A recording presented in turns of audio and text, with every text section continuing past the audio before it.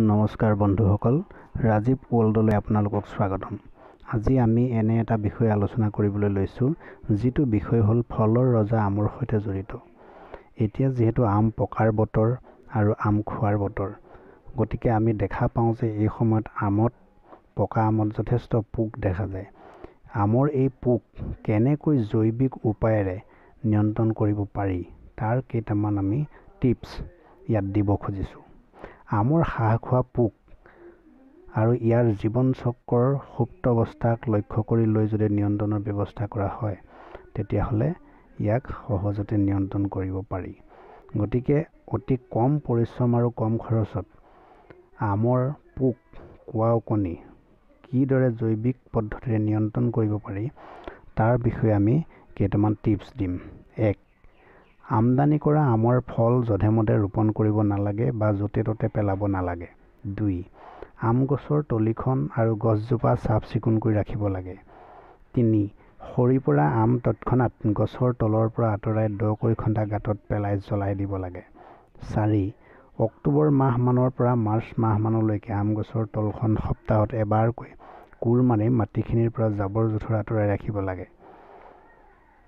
পাঁচ গা গছৰ আৰু কাণ্ডৰ পৰা ওলোৱা ডালৰ তিনি চাৰি মিটাৰমান দূৰত্বলৈকে টান ব্ৰাছেৰে ঘঁহি চাফা কৰি প্ৰতি পোন্ধৰ দিনৰ মূৰে মূৰে ৰাখিব লাগে।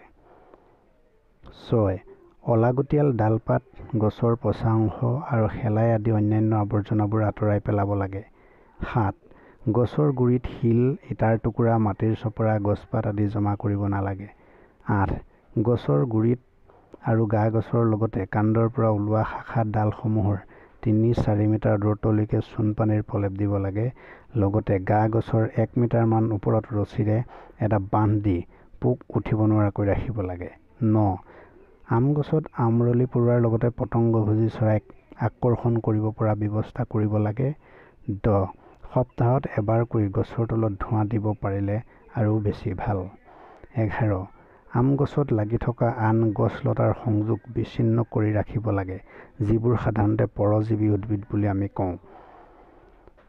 বাৰ হাঁহ খোৱা পোক প্ৰতিৰোধী ক্ষমতা থকা আমৰ জাত ৰোপণ কৰিব লাগে।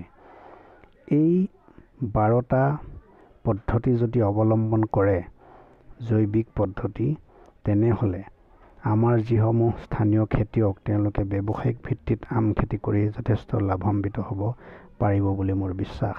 গতিকে এই কথাখিনি যদি আপোনালোকে ভাল পালে তেনেহ'লে আমাৰ চেনেলটো ছাবস্ক্ৰাইব কৰক লাইক কৰক শ্বেয়াৰ কৰক।